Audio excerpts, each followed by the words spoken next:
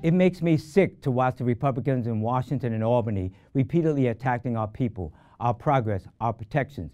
Yet instead of uniting with us to resist this assault, our state senator Marisol Alcantara, elected as a Democrat to represent the Upper West Side, Upper Manhattan, turned on us by joining the Independent Democratic Conference, the IDC, a group of turncoat Democrats that empower the Republican minorities to control the New York State Senate and block progressive legislation.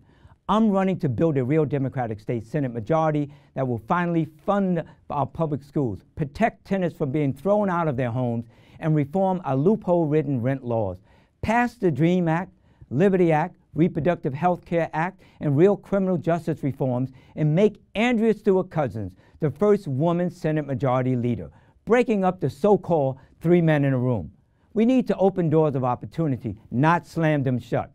From my first elected position as school board president, where I launched the campaign for fiscal equity school funding lawsuit, walked 150 miles to Albany to highlight the cause, and won a judgment that resulted in $16 billion for the New York City Public Schools, to my 12 years on the City Council, where I sponsored the Small Business Survival Act, promoted equality, fairness, and justice, to my recent fights for tenants and against the IDC, I have taken on the tough fights for New Yorkers and never backed down.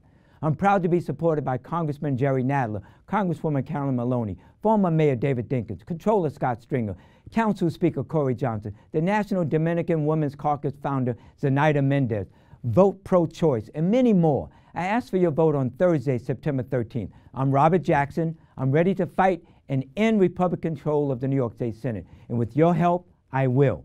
Please vote for me on September 13th. Thank you.